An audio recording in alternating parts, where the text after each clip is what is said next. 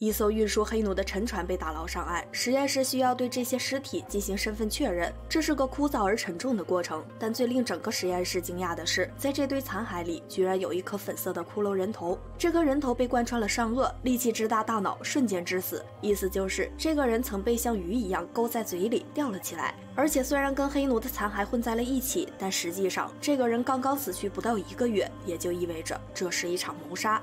通过数据分析，死者是个男性，年龄不到二十岁。但拿着他的面部复原图，老布找不到任何一例失踪人口跟他对应，反而是在驾照数据库里找到了匹配者。而令人惊讶的是，这个人虽然看起来十八九岁，却已经猫狗双全，事业爱情双丰收，而且登记的实际年龄是二十八岁。难道说越过无数的古姐也会看走了眼？然而见到真人后，大家才发现这是一场闹剧，因为这张驾照是盗刷别人信息得来的，这种行为损人利己，却导致。受害者小红一家的信用有了污点，不仅卡被冻了，还迟迟买不上房，气得小红老公大马信用卡公司放狠话，要把盗刷她信息的人大卸八块。但从始至终，他们都没能找出这个人是谁，因此也就只能停在了撂狠话的阶段。借助 X 光，姑姐发现受害者的腿骨和面部有些特殊损伤，这说明受害者小时候遭受过虐待，而且失踪这么久都没人报警，大概以前就是个没人挂念的小孩。虐待且缺爱，这种情况下，孩子很可。能就会有离家出走的经历。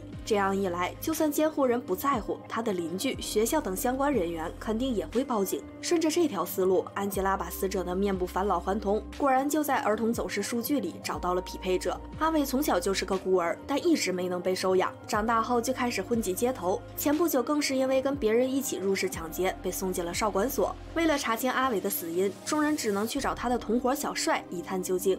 刑满出狱后，小帅来到一艘船上当酒保。这艘船可不一般，船上乘客只分为两种人：富婆和小白脸。富婆花钱找乐子，小白脸卖身挣银子。但小帅说，阿伟跟那些只会卖屁股的小白脸不一样，他不仅年轻力壮，而且特别有脑子，哄富婆欢心，经常能拿到一些额外的好处。而这些富婆很多都是有夫之妇。难道阿伟的死因是因为动了哪个大佬的女人？小帅摇了摇头，这个答案大概只有老鸨知道。来到甲板上，姑姐和老布一眼就看到墙上挂着巨型鱼叉。巧合的是，这个鱼叉的尺寸跟阿伟的伤口大小相近，因此阿伟极有可能就是死在了这艘船上。此时的船舱里，老鸨正忙着跟小鲜肉滚床单，两人干柴烈火，甚至没能注意到柜子下面的蛆虫。踹开柜子之后，姑姐推断这里曾藏过腐肉。可怜的阿伟估计是被塞在了这里，直到开进远海才被丢进海里。但老鸨却表示自己对此毫不知情，他只是个皮条客。就算真的杀死了阿伟，自己也没有打开这个柜子的钥匙。那么钥匙？都在谁身上呢？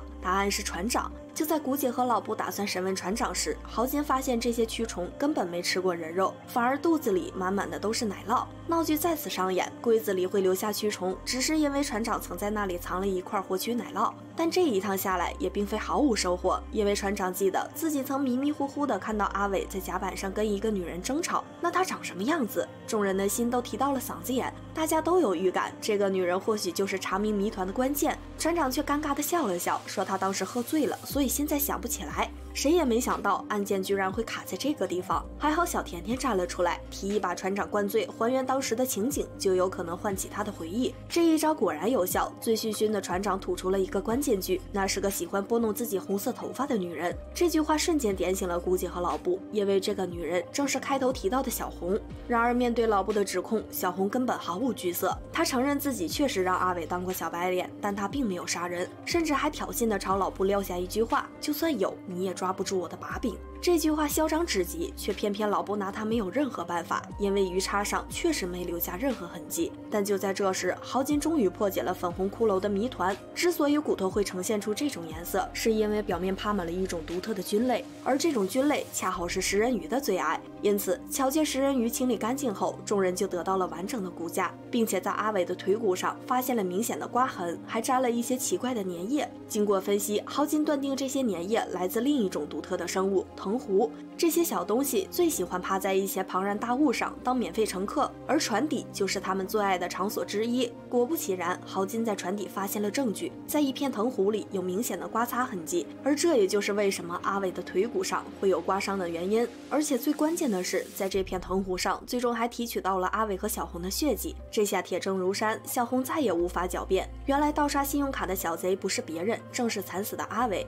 在进出小红家里偷情时，顺走一点身份资料。对阿伟来说，并不是什么难事。而当晚，小红跟他争论此事，却不巧打碎杯子，划伤了手。怒极的小红把阿伟推到了海里，阿伟扒住船边苦苦挣扎。藤壶就是在这个时候刮伤了他的腿骨。本来事情到这里还有所挽救，但阿伟慌张求生，嘴瓢的骂了一声“老女人”，而这句话彻底刺痛了小红，也断送了阿伟的性命，让小红手里的鱼叉最终勾进了阿伟的嘴巴。在这艘欲望之船上，金钱和肉体可以是平等的交易。如果阿伟及时认错，或许小红也不会太过追究，但年龄永远是女人的命门，所以请谨记，无论什么时候都不要用“老”这个字眼去挑战女人的底线。以上就是本期全部剧情，请持续关注我，解锁更多悬案。